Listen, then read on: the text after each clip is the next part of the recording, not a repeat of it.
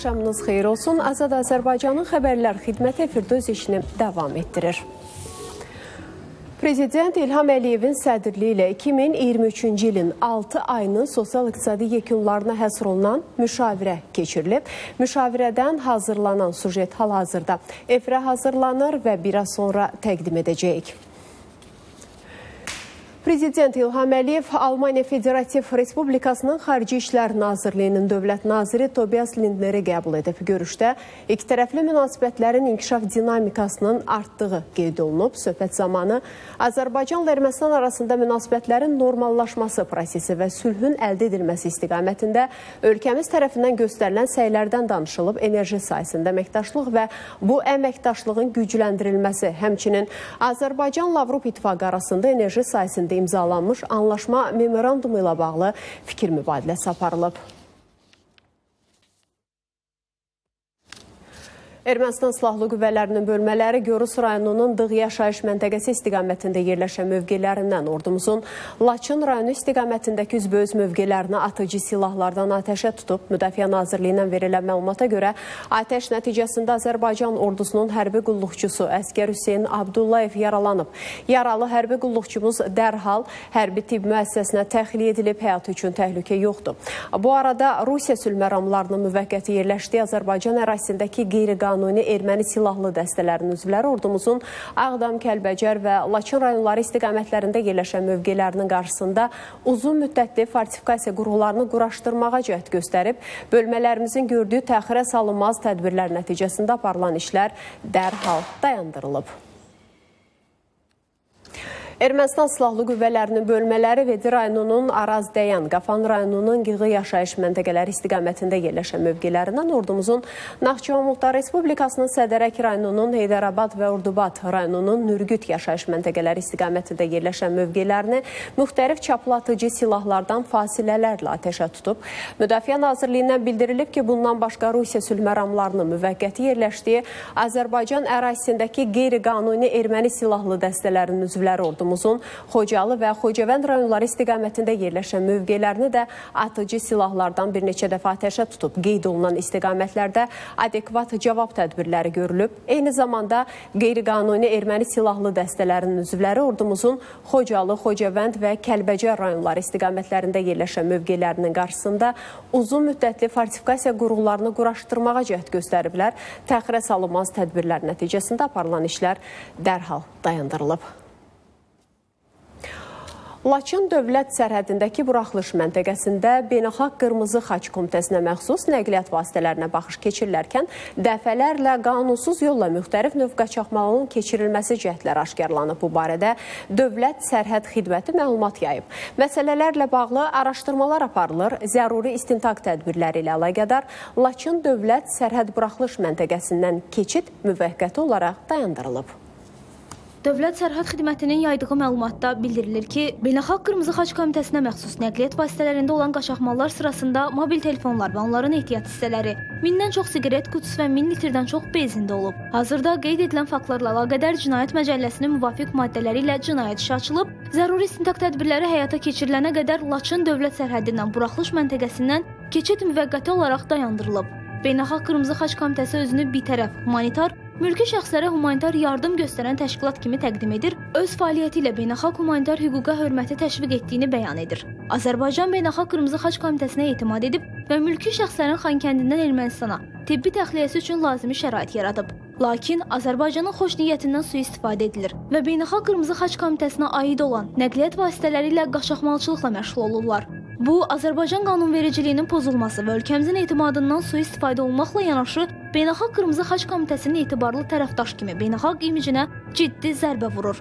Azərbaycan belə qaçaqmalçılıq halları barədə dəfələrlə rəsmi kanallar vasitəsilə Beynəlxalq Qırmızı Xaç Komitəsinə xəbərdarlıq edib. Bu halların dayandırılmasını tələb edib. Amma təəssüf ki, Beynəlxalq Qırmızı Xaç Komitəsi tərəfindən ciddi tədbirlər görülməyib. Bu qəbul edilməzdi deyə Dövlət Sərhəd Xidmətindən bildirilib. Beynəlxalq Qırmızı Xaç Komitəsi Rusiya sülhməramlarının müvəqqəti yerləşdiyi Azərbaycan ərazilərində fəaliyyət göstərən yeganə beynəlxalq təşkilatdır və təəssüf ki, öz mandatından sui-istifadə edir.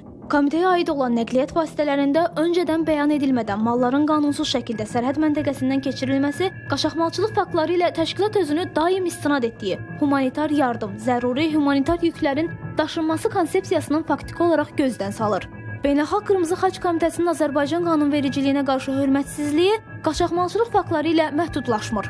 Komitə xəstələrin Xankəndindən Ermənistana tibbi təxliyəsi məsələsində də Azərbaycan tərəfinin insanlıq naminə xoş niyyətindən sui-istifadə edir. Belə ki, məlumatlara görə təxliyə edilənlərin heç də hamısı xəstələr deyil.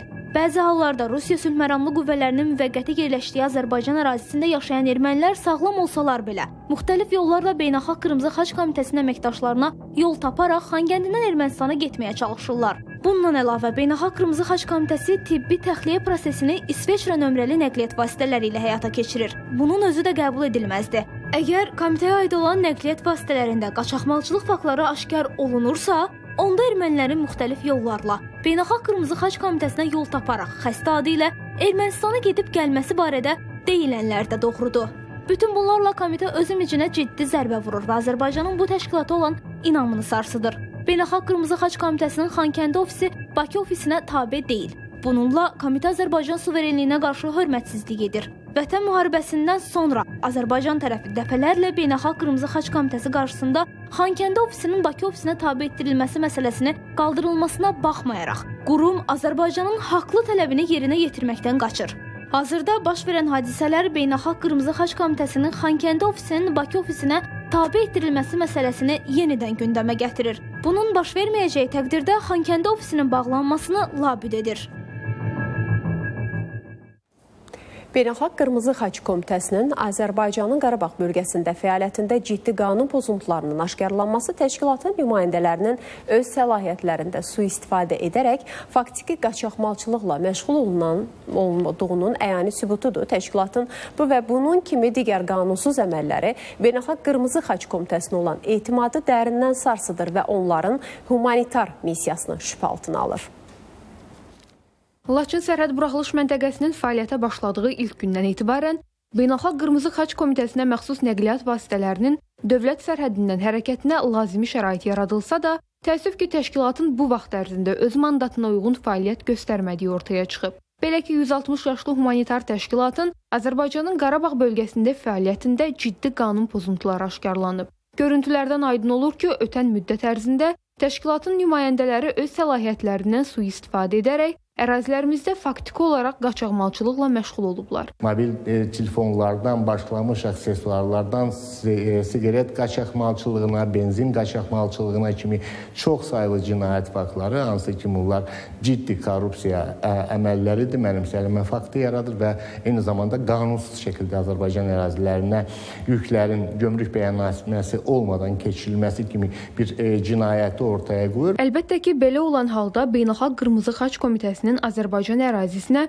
Ermənistandan silah-sursat daşımadığına da heç kim zəmanət verə bilməz. Hətta ekspertlərin fikrincə, müharibə dövründə Azərbaycana münasibətdə qərəzli mövqe tutan Beynəlxalq Qırmızı Xaç Komitəsinin qaynar nöqtələrə daxil olaraq hərbi məlumatlar toplaması və Ermənistan tərəfinə ötürməsi ilə bağlı ciddi şübhələr də var. Qırmızı Xaç Komitəsinin ümumiyyətlə Xankəndidəki ofisinin fəaliyyəti Azərbaycan Respublikası ilə razılaşdırılmadan necə fəaliyyət göstərə bilər? Nəinki bu qaçaqmalçılıq faktları, eyni zamanda ona qədər dövrdə də onlar üçün yaradılmış şəraitdən sui-istifadə edilməsi halları bir-bir araşdırılmalıdır. Çünki biz sərhəd xidmətinin yaydığı məlumatdan da görürük ki, onlara dəfələrlə artıq xəbərdarlıq edilib. Ekspertlər qeyd edir ki, bu Beynəlxalq Qırmızı Xaç Komitəsinin fəaliyyətində ilk belə qanunsuz əməl deyil. Ümumilikdə təşkilatın tarixi cəsus fəaliyyəti, humanitar yüklərin mənimsənilməsi və hətta ofşor şirkətlərin açılması, çirkli pulların yuyulması kimi cinayət halları ilə zəngindir. Məsələn, Ebola virusuna qarşı mübarizədə e, ayrılan vəsaitlərin 5 milyon e, dolları e, saxta gömrük bəyannamələrinin təyin edilməsi, humanitar yüklərin satılması kimi faktlar var. Hətta Panama şirkəti ilə, yük şirkəti ilə əlbir olaraq Panama ərazisində offshore şirkətinin açılması və həmin offshore şirkətlərinin vasitəsilə çirkli pullar yolların yuyulması kimi də Beynəlxalq Qırmızı Xaç Komitəsinin tarixində ikrah doğuracaq məqamlar kifayət qədərdir. Sadalanan bütün bu faktlar təşkilata olan etimadı ciddi şəkildə sarsıdır. Əlbəttə ki, heç bir ölkə ərazisində belə qanunsuzluğa göz yuma bilməz. Azərbaycan da buna dözmə niyyətində deyil və artıq Azərbaycan Respublikasının Cinayət Məcəlləsinin müvafiq maddələri ilə cinayət işi açılıb və zəruri istintaq tədbirləri həyata keçirilənə qədər Laçın dövlət sərhəd buraxılış məntəqəsindən keçid müvəqqəti olaraq dayandırılıb. O ki qaldı Qarabağda yaşayan erməni sakinlərin təminatı məsələsinə, Azərbaycan öz ərazilərində yaşayan erməni sakinlərə humanitar dəstək verməyə hazırdır. Pərvin Muradzadə, Ceyhun Tarıverdiyev, ATV xəbər. Ensaylı hərbi hissədə tabor divizyon komandirləri və onların müavinləri ilə təlim metodiki toplanış keçirilib. Toplanışda zabitlərin müasir ümumqoşun döyüşünün aparılması üzrə nəzəri bilikləri təkmilləşdirilib. Həmçinin fiziki hazırlığı qiymətləndirilib. Cari ilin növbəti tədris dövrü ərzində icra olunacaq tədbirlərlə bağlı müzakirələr aparılıb. O cümlədən toplanış iştirakçılarına metodiki tövsiyələr çatdırılıb. Məqsəd zabitlərin idarə etmə üzrə bilik və bacarıqlarının daha da inkişaf etdirilməsi, eləcə də peşəkarlıq səviyyələrinin artırılmasıdır.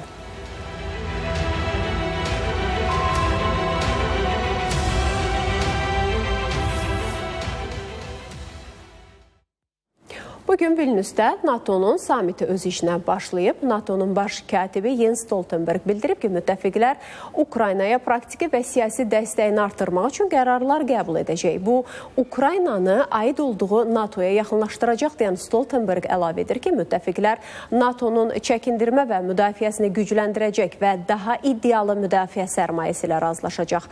CNN-ə istinadən bildirilir ki, Ukrayna prezidenti Volodimir Zelenski NATO samitində iştirak etmək üçün Litva Litvanın paytaxtı Vilniusə gedib. Həmçinin bildirilir ki, 31 üzv dövlətin samitində Ukraynanın alyansa üzvlük yolunun razılaşdırılması gözlənilir. Ümumilikdə iki gün keçiriləcək NATO samitində alyans ölkələrinin liderləri bir çox vacib məsələlər, o cümlədən Ukraynaya dəstəyin artırılması, silahların modernləşdirilməsi, NATO-Ukrayna şurasının yaradılması və bu ölkəyə təhlükəsizlik qarantiyasının verilməsi məsələlərini müzakirə edəcək.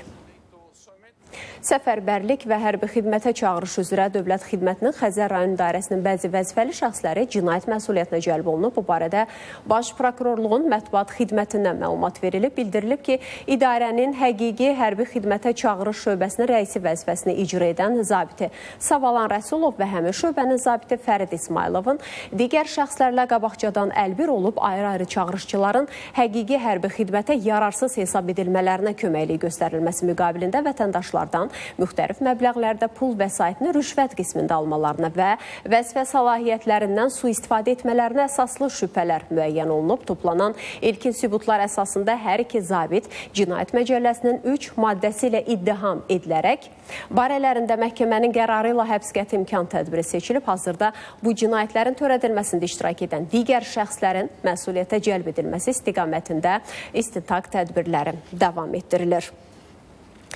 Lənkəranın Kərgəlan kəndində 45 yaşlı Zəhra Hüseynova həyətində təmizlik işləri görərkən ehtiyatsız davranaraq yanıq xəsarətləri alıb. Belə ki, o yığılan tullantıları yandırmaq istəyib, tullantıların yanmadığını görüb benzindən istifadə edib. Bu zaman ani ehtiyatsızlıq nəticəsində qadının özünü alov bürüyüb, onun qışqırığına anası və qonşuları gəlib. Müxtərif yanıq xəsarətləri alan Zəhra Hüseynova dərhal Lənkəran rayon mərkəzi xəstəxanasına çatdırılıb. Ona bədəninin ümumi səthinin ikinci, üçüncü dərəcəli texniki yanıq diaqnozu qoyulub. İlkin tibbi yardım göstərildikdən sonra vəziyyəti ağır olduğundan müalicəsini davam etdirmək üçün paytaxtdakı xəstəxanalardan birinə göndərilib. Burada zibil töküb, gətirdi, yandırırdı. Ha. O zibili tökdü. Bilmiyorum nötün əvəzinə benzin tökü bura. Öyle benzin tökən kimi alışdı, yandı. Mən elə küçəyə çıxan görüm alışıb yanır. Mən gəlmişəm bunu söndür, yandırmış, söndürmüşəm. Özüm üç dəfə bu telefonla zəng eləmişəm. Iskuruya. Badəni yanıb, bütöv yanmışdı. Sivəti bax bax. Sənə belə qalmışdı. Mən həyatda idim, mən eşitməmişəm.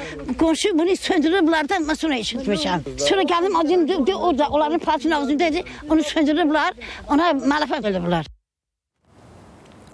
Bugün gün orta saatlarında Araz çayının Emişli rayonu Şahverdili kəndi ərazisindən keçən hissəsində ata və az yaşlı oğlu çayda çimərkən batıb daxil olan məlumat əsasən dərhal əraziyə Fövqəladə Hallar Nazirliyinin xilas ediciləri cəlb olunub. 32 yaşlı Asif Əliyev və 5 yaşlı Rəvan Əliyevin meydi tapılaraq sudan çıxarılıb və aidiyyat üzrə təhvil verilib. İsmayıllıda ölümlə nəticələnən qəza baş verib, sürücü avtomobilin təkərinin partlaması nəticəsində idarəetməni itirib və nəqliyyat vasitəsi yoldan çıxaraq aşıb. Qəza nəticəsində Samir Babayev dünyasını dəyişib, sərnişinlər Varis Ağayev və Tərlan Həsənov yanıq xəsarətləri alıb, yaralılar rayon mərkəzi xəstəxanasına çatdırılıb, qəzanın baş vermə səbəbləri araşdırılır. Paytaxtın Nərmanov rayon ərazisində bir-birinə zid iki yol nişanı quraşdırılıb. Ərazidə avtobus dayanacağını göstərən nişan var, həm də parklanma zolaqlarını. Bu isə sürücülərin çaşqınlığına səbəb olur. Niyə belə bir vəziyyət yaranıb? Əməkdaşlarımız həm bu suala cavab axtarıb, həm də öyrənməyə çalışıb ki, əslində hansı nişan qalmalıdır?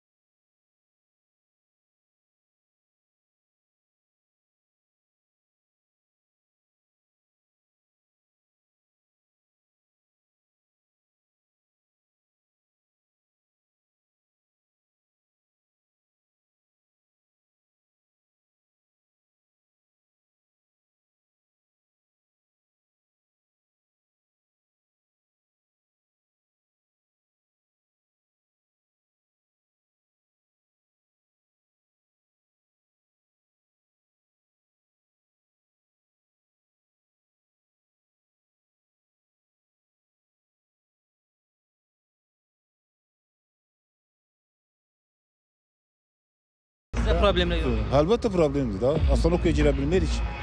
Əslində burada avtobus nişanı deyirlər bu. Avtobus nişanı bəli. Bu da o maşın zadının yanında bax, orada da var. Bütün maşınlar da olur Astanovkada. Yolun qırağında saxlayırıq biz də ortada. Məsələ ilə bağlı Yerüstü Nəqliyyat Agentliyindən bildirildi ki, qeyd edilən ünvanda avtobus dayanacaq məntəqəsi təşkil olunan zaman avtomobillərin parklanması üçün çəkilən xətlər xüsusi qara boya çəkilməklə silinib və nişanın biri ləğv edilib. Lakin göründüyü kimi müəyyən müddətdən sonra qara boyalar görünməz olub. Qurumdan bildirildi ki, tez bir zamanda problem aradan qaldırılacaq. Əkbər Əlizadə, Əli Ələkbərov, Sərdar Əliskəndərli, ATV xəbər. Sosial şəbəkələrdə Azərbaycan vətəndaşlarını aldadan iki Nigeriya vətəndaşı saxlanılıb. Əməliyyat tədbirləri çoxsaylı şik şikayətlər əsasında həyata keçirilib. Müəyyən olunub ki, zərər çəkən şəxslərin aldadılması əsasən Telegram sosial şəbəkəsində olub. Araşdırmalarla saxta profillərin xarici ölkələrin internet resurslarından istifadə edilməklə qeydiyyatdan keçirildiyi, buna baxmayaraq dəstənin bir neçə üzvünün ölkə sərhədləri daxilində kiber cinayətkarlıqla məşğul olduqları müəyyən olunub. Sosial şəbəkələrdə dələ duzluq edən Nigeriya vətəndaşları yaratdıqları Flips Thomas Bin və digər saxta profillər vasitəsilə zərər çəkənlərlə danışıqlar aparıb və onlara xaricdən müxtəlif növ bahalı hədiyyələr göndərəcəklərinə dair yalan vədlər veriblər. Daha sonra dəstə üzvləri kargo xidmətlərinin ödənilməsi adı altında bank kartlarına köçürmə yolu ilə bir çox vətəndaşa məxsus külli miqdarda pul vəsaitlərini də ələ keçiriblər. Dəstə üzvlərinin Nigeriyada fəaliyyət göstərən digər üzvlərinin də saxlanılması istiqamətində bu ölkənin hüquq mühafizə mühafizə orqanlarına sorğular göndərilib. Mənim Viktor adında dostum var idi. O Azərbaycanda yaşayırdı. Bir neçə ay əvvəl o Azərbaycanı tərk edib Nigeriyaya getdi. Daha sonra o Nigeriyada ola-ola Telegram vasitəsilə Azərbaycan vətəndaşlarını, əsasən qadınları aldatmağa başladı. Aldatdığı adamların pulunu isə məndə və dostumda olan kartlara köçürürdü. Biz də həmin pulları Viktora geri göndərirdik. Viktor o pullardan bizə faiz verirdi. Viktor Telegramda adamlara yalandan deyir ki, sizə bahalı hədiyyələr göndərəcəm. Amma bunun üçün kargonun pulunu ödəmək lazımdır. Viktor kargonun pulunu alırdı, amma əvəzində Azərbaycandakı adamlara heç nə göndərmirdi. Onları aldadırdı. Ağdaşın Kötavan kəndi ərazisində örüş sahəsindən 8 kənd məxsus, ə, sakininə məxsus 9 baş at oğurlanıb. Əməliyyat axtarış tədbirləri nəticəsində oğurluğu törətməkdə şübhəli bilinən zərər çəkənlərin həm kəndliləri Cəbrayil Səfərov və Asim Şirinov saxlanılıb. Müəyyən olunub ki, onlar uğurladıqları atları Bərdə sakini Hacı Nəsirova satıb və əldə etdikləri pulu aralarında bölüblər. Hacı Nəsirov da istintaqa verdiyi ifadəsində həmin atları Qazaxstana satdığını bildirib. Qonşum Cəbrail ilə birlikdə çöldəki atlardan bir neçəsini oğurlayıb gətirirdik həyətə və qohumum olan hacını çağırırdım və ona müxtəlif qiymətlərə satırdıq. Ümumilikdə 9 baş e, at satmışıq e, və ortada olan həmən məbləği qonşum Cəbraildən yarı bölürdük. Asım Zəhrovla mənə ki, at vardı. 42 gün sonra gəldim. Cəmsi 900 dənə idi, elə bil 80-də baxdım qiymətini razılaşdıq. Mən də elə bil yığırdım qazalsana da, gətirirdim qapıya 50 dənə düzəldirdim, göndərirdim qazalsana. Şəmkirdə narkotik vasitə əldə edib saxlamaqda şübhəli bilinən şəxslər saxlanılıb. Keçirilən tədbirlər nəticəsində saxlanılan Anar Məmmədzadənin üzərindən qurudulmuş marixuana götürülüb. Digər əməliyyat axtarış tədbirləri ilə rayonun Tatarlı kənd sakini Süleyman Abdullayevin evinin həyatyanı sahəsində əkdiyi narkotik xassəli çətənə kannabis bitkiləri aşkarlanaraq götürülüb. Əraziyə baxış zamanı oradan 70 ədəd çətənə aşkar olunub.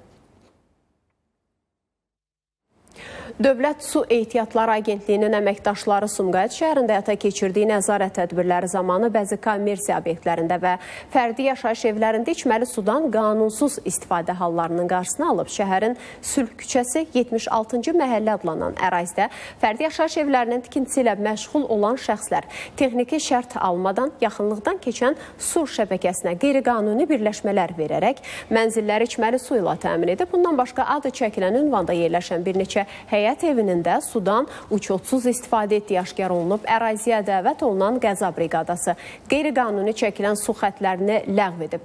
Həmçinin şəhərin 6-cı mikrorayon Zülfü Hacıyev küçəsində yerləşən kafedə sudan qanunsuz istifadə faktı aşkarlanıb. Obyektin sahibi öz başına yaxınlıqda yerləşən yaşayış binasının su xəttinə qoşulma edib.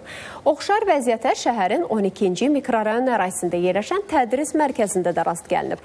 Qanunsuz xətlər kəsilərək ləğv edilib, bildirilib ki, bu əməllərə yol verən fiziki və hüquqi şəxslərə qarşı sərt nəzarət tədbirlərin görülməsi üçün hüquq mühafizə orqanlarına müraciət olunacaq. Su təchizatı və tullantı suları haqqında qanunun tələblərinə uyğun olaraq qanunsuz çəkilmiş su xətləri qəza briqadası tərəfindən kəsilərək ləğv edildi. Vətəndaşlardan xahişimiz və tövsiyəmiz ondan ibarətdir ki, sudan qeyri-qanuni istifadə etməsinlər, texniki şərt almaqla sudan qanuni istifadə etsinlər. Qeyri-neft sektorunun inkişafı üçün görülən işlər çərçivəsində rayonlarda baramaçılığın sitrus və subtropik də olmaqla meyvə bağlarının salınmasına investisiyalar qoyulur. Belə bağlardan biri Lənkəranın Separadi kəndi ərazisində 150 hektar sahədə salınan sitrus bağıdır. Bağda ağacları qış aylarında şaxtadan qorumaq üçün qeyri-adi üsuldan xüsusi quraşdırılan pərvanələrdən istifadə olunur.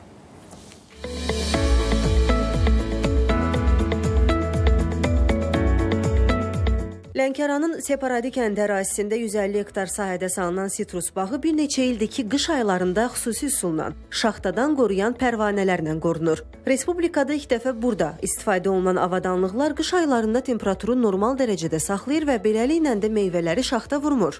Bizdə e, şaftalıdır, nektarındır, Əsasən limodur, mandalindir. 150 hektarı, yəni üstün bağlamaq yəni mümkün deyil. Pərvanə Türkiyədən gəlib. Birinci gələnlər bir dənəsi 6 hektarı mühafizə edirdi şaxtadan. Bu yeni gələnlər 9 hektar. 15 dənə pərimiz var. Bağda 135 minə yaxın sitrus meyvə ağacı əkilib və bağın salınmasında əsasən xarici sort toxumlardan istifadə olunub. Özün ayarlayırsan da minus 1-ə. Şaxta həmişə çökür də, ağaca çökür. Şaxtanı ağacın üzərinə oturmağa qoymuş. O vaxta kimi ki 2 dərəcə olana kimi öz avtomatik sönür. Bağın suvarılmasında isə müasir suvarma şəbəkəsi olan damcı üsulundan istifadə olunur. Təsərrüfat rəhbəri cari ildə 3000 ton məhsul əldə edəcəyini gözləyir. Məhsullar əsasən daxili bazara çıxarılsa da bu ildən Rusiya bazarlarına da ixracı planlaşdırılır. Onu da qeyd edək ki, bağda 100 nəfərdən çox sakin daimi, 300 nəfər isə mövsümi işlə təmin olunub. Səadət Ayaz qızı Zaur İsmailov, Şəlalə Qaşirinova, ATV Xəbər, Lənkəran. Xəbər verdiyimiz kimi prezident İlham Əliyevin sədrliyi ilə 2023-cü ilin 6 ilinin sosial-iqtisadi yekunlarına həsr olunan müşavirə keçirilib. İlin ilk yarısında görülən işlərə toxunan dövlət başçısı əmin olduğunu bildirib ki, ilin sonuna qədər ölkəmizin uğurlu inkişafı təmin ediləcək. Bu ilin 6 ayında əsas istiqamətlərimiz ölkəmizin dayanıqlı inkişafının təmin edilməsi, qeyri-neft sektorunun inkişafı, Qarabağın və Şərqi Zəngəzurun bərpası, iqtisadi və sosial sahələrdə islahatların davam etdirilməsi idi. 2023-cü ilin 6 ayının sosial-iqtisadi yekunlarına həsr olunan müşavirədə prezident İlham Əliyev belə deyib. Dövlət başçısı bildirib ki, bütövlükdə 6 ay ərzində iqtisadiyyatımız inkişaf edib. Qeyri-neft sektorumuz və qeyri-neft sektorunun sənaye sahəsi ə, kifayət qədər artıbdır. 6.5 faiz qeyri-neft sənayemiz artıbdır və 3 faizdən çox qeyri-neft sektoru ümumiyyətcə artıbdır. Bununla bərabər bizim maliyyə vəziyyətimiz yaxşılaşıb böyük dərəcədə. Bunun bir çox səbəbləri var. İlk növbədə maliyyə sektorundakı nizam, intizamın möhkəmləndirilməsi, vergi və gömrük orqanlarında islahatların davam etdirilməsi, şəffaflığın təmin edilməsi, bütün bu amillər imkan verdi ki, ilin ortasında biz büdcəyə yenidən baxaq və dürüstləşmə aparaq. Bu çox sevindirici haldır, çünki proqnozlardan xeyli böyük dərəcədə vəsait toplanmışdır. Onsuz da bizim bu ilki dövlət büdcəmiz rekord həddə çatmışdır.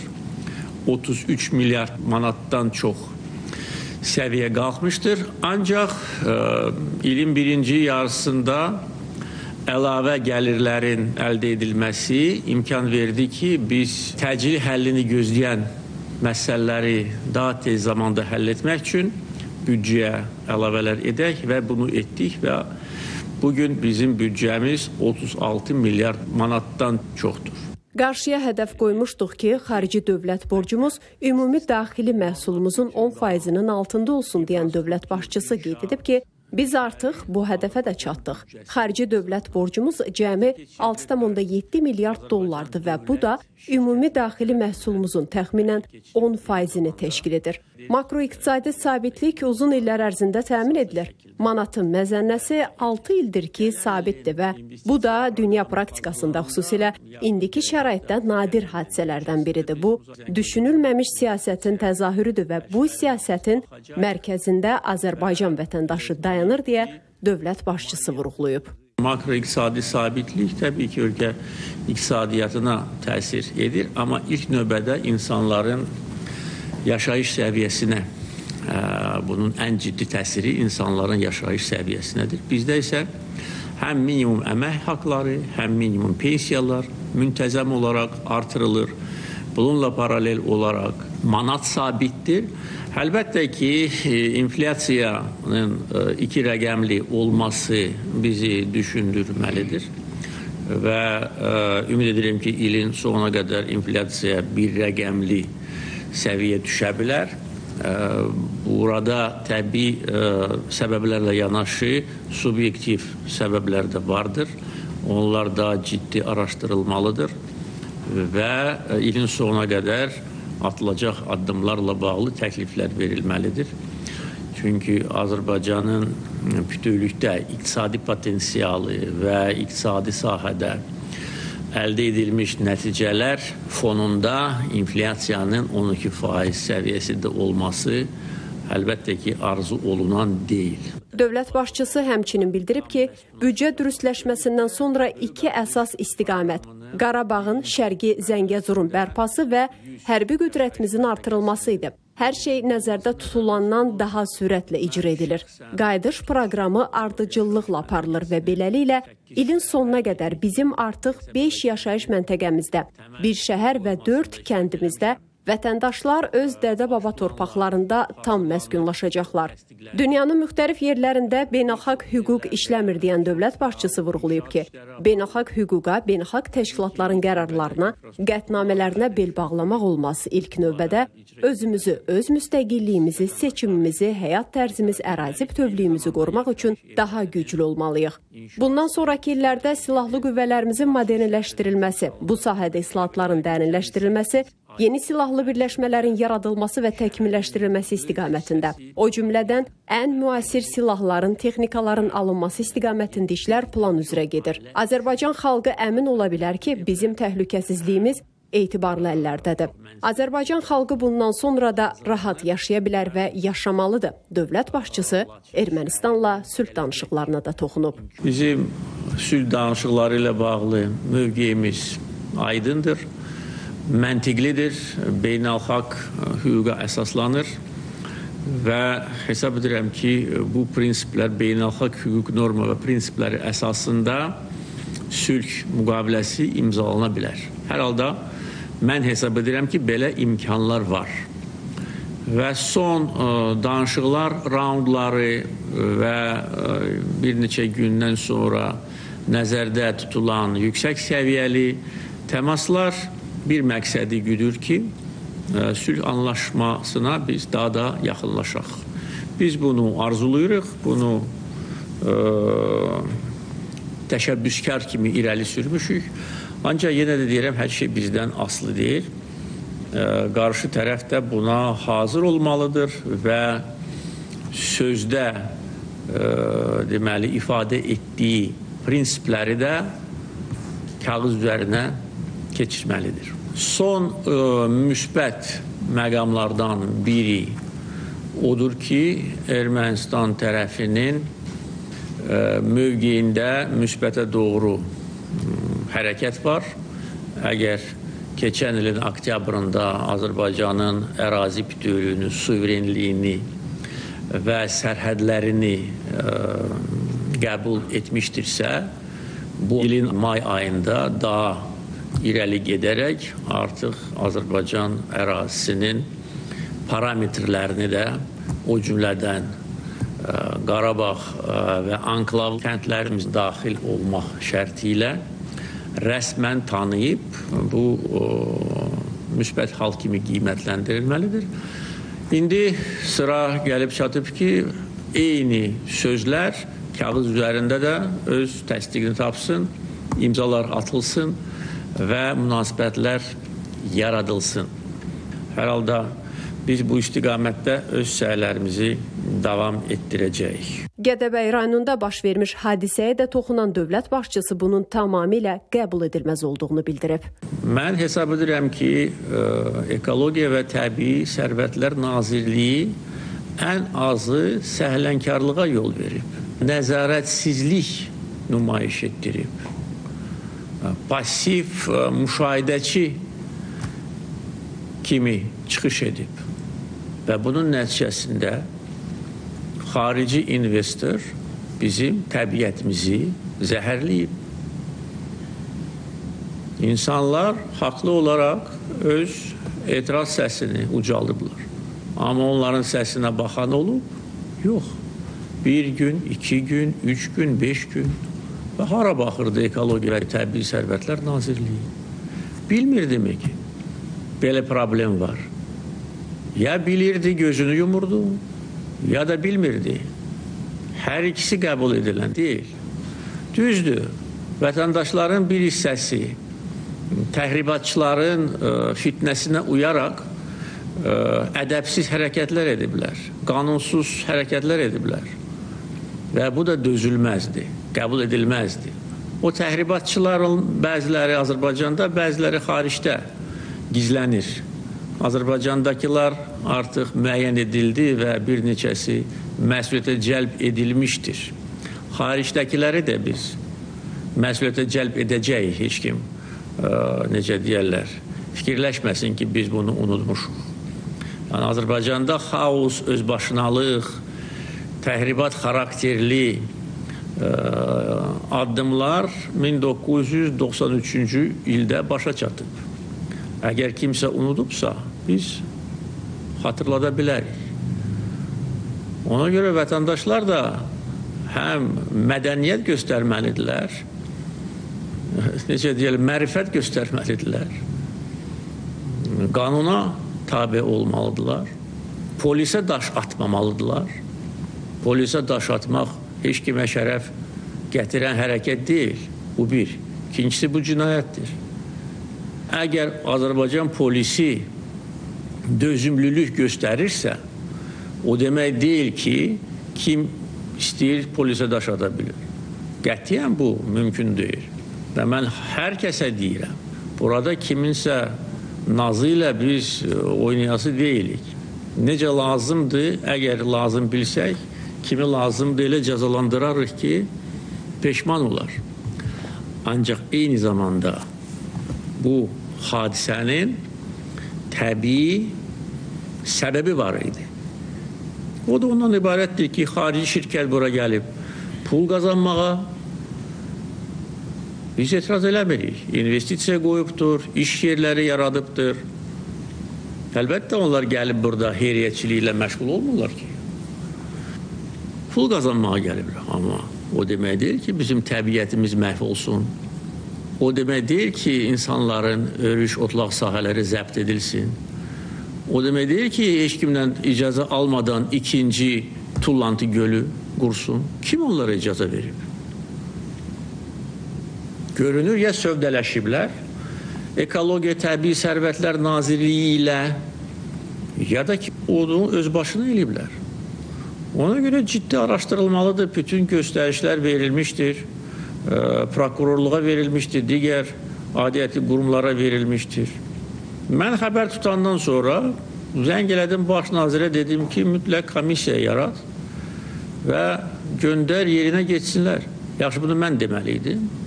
Ekologiya naziri özü bilmirdi ki, ora getməlidir. İndi mən demişəm ki, getkinlə, orada cəmaatla danışın, o torpağın, havanın nümunələrini götürün, beynəlxalq ekspertləri cəlb eləyin. Dedim, çünki indi ola bilər ki, nazirlik bir halda ki, bu hadisənin səbəbkarı olub. Ola bilər ki, malalasın işi. Dedim ki, beynəlxalq ekspertləri cəlb eləyin, onlar rəy versinlər. Bu yataqların istismarı nə dərəcədə insanların sağlamlığına, təbiətə zərərlidir ya zərərli deyil? Bugünə qədər cavab yoxdur. Orada təbiətə, insanların sağlamlığına zərrə qədər təhlükə varsa, o fəaliyyət dayandırılmalıdır deyən dövlət başçısı bir mənalı olaraq bildirib ki, burada işləyən xarici şirkətlər və yerli şirkətlər Azərbaycan qanunlarına hörmət etməlidir. Hörmət etməyəcəklərsə, onların fəaliyyəti burada mümkünsüz olacaq. Abşeron qaz kondensat yatağından çıxarılan ilkin qazın əhəmiyyətinə də toxunan dövlət başçısı bildirib ki, bu bizim həm enerji təhlükəsizliyimizi daha yüksək səviyyədə təmin edəcək, həm də ixraca gedən qazın həcmi ildən ilə artacaq. Buraxılışımız davam edir. Bərdədə Aqrar İnnovasiya Festivalı keçirilib. Kənd Təsərrüfatı Nazirliyinin Aqrar İnnovasiya Mərkəzinin, həmçinin Elm və Təhsil Nazirliyi yanında Peşə Təhsil üzrə Dövlət Agentliyinin təşkilatçılığı ilə keçirilən festivalın əsas məqsədi hər iki sektor arasında mövcud əlaqələri gücləndirməkdir. Elm və Təhsil Naziri Emin Əmrullayev və Kənd Təsərrüfatı Naziri Məcnun Məmmədov festivalın əhəmiyyətindən, həmçinin kənd təsərrüfatı məhsul istehlakçıları ilə peşə təhsil müəssisələri arasında əməkdaşlığa müsbət təsirindən danışıb festivalda kənd təsərrüfatı texnikaları nümayiş olunub. Sərgi ilə yanaşı həmçinin burada məlumat sessiyaları fermerlər üçün təlimlər, treninqlər keçirilib. Festivalda fermerlərə lazım olan maliyyə resurslarının əlçatanlığını təmin etmək məqsədi ilə bir sıra dövlət qurumlarının nümayəndələrinə yaxından iştirak edib. Bununla da onlara lazım olan kredit, hər hansı bir dəstək, sığorta ilə bağlı məsələlər barədə məlumatlar verilib. Sadəcə 17-ci Aqrar İnnovasiya Festivalındayıq biz bu gün. Bugünkü festivalda 1200-dən çox fermer və 300-dən çox peşə liseyin tələbələri iştirak etmişdir. Burada e, innovasiyanın bütün istiqamətləri üzrə e, məhsullar, xidmətlər təklif olunmuşdur. Fermerlər bu festivalda iştirak etməklə e, bu innovasiyaları, məsələn, pilotsuz uçuş aparatlarıdır, sertifikatlı toxumlardır, tinglərdir, preparatlardır, qurğulardır. Bunları öz təsərrüfatını tətbiq etməklə maksimum dərəcədə gəlir əldə etmiş olur və öz xərclərinə qənaət etmiş olur. Ölkənin yeganə qanuni lotereya təşkilatçısı Azər Lotereyada yarım milyon manatdan artıq olan cepotu qazanan şəxsin kimliyi məlum olub. Görəsən, həmin bəxtəvər qalib kimdir? Sujet izləyək ki, onu birlikdə tanıyaq. 43 yaşlı Sakin Hüseynov ustadır. Ara sıra lotereyada bəxtini yoxlayan Sakin bəyə qonaq getdiyi saatlıda şans üzünə gülür. 4 lotereyasında 530.359 manatlıq cekpotun sahibi olub. O, cekpotu əldə etmək üçün Azər Lotereyanın uduşlu biletlərin qəbul edildiyi Bakı Kobevinə yollanır. Daha sonra cekpot sahibi Azər Lotereyanın baş ofisinə gələrək idarə heyətinin sədri Osman Karakuşla görüşüb. Şanslı qalib qazandığı pulla övladının arzusunu reallaşdıra biləcəyi üçün çox sevinclidir. Elizabet istəyir oğlum. Yəni inşallah onu alacağam. Yəni onun sevinci lap çox idi. İstəyirdim, həmişə ala bilmirdim. Yəni indi inşallah alacağam. Özümə qəşəng ev alacağam, qəşəng maşın alacağam. Yarım milyonluq uğurlu bilet Saatlıda yerləşən Misli məntəqəsindən alınır. Qeyd edək ki, təxminən 4 ay öncə 913.072 manatlıq tarixi cekpot da 4/4 tirajlı lotereyasında qazanılmışdı. Növbəti cekpot məbləği isə 250 min manatdır. Azad Azərbaycanın xəbərlər xidməti bugünlük efirdə öz işini yekunlaşdırdı. Sağ olun, sağlıqla qalın.